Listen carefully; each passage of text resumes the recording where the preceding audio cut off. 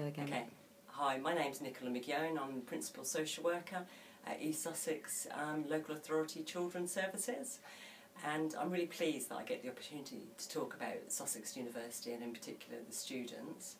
Um, East Sussex has a really close working relationship with Sussex University in lots of exciting and innovative ways.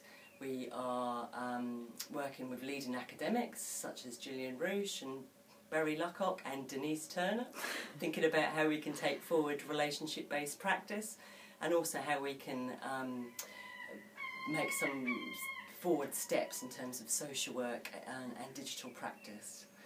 But what I've been really impressed with is, is the quality of social work students that come out of Sussex University, and I genuinely think that they are absolutely outstanding. The students have really benefit from the practice development workshops that they have at the university, and I know that they there's workshops such as substance misuse and domestic abuse and sexual harm, and, and that really, really helps them to be equipped when they come into frontline practice, and they do come into frontline practice equipped.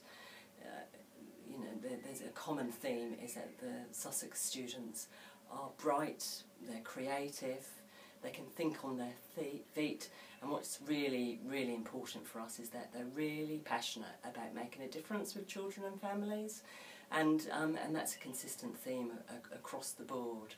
So um, if you're thinking about coming to Sussex University, it's a good choice.